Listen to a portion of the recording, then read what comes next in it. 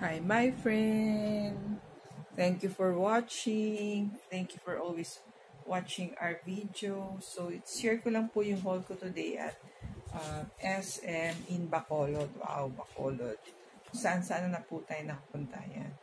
Parenting Bootcamp. So, yon So, we were in uh, SM Bacolod. So, from Iloilo, we took a fast craft. That's what they call it here. And then, we went to for a day boat tour or trip to Bacolod. So, yan. This is from SM Bacolod.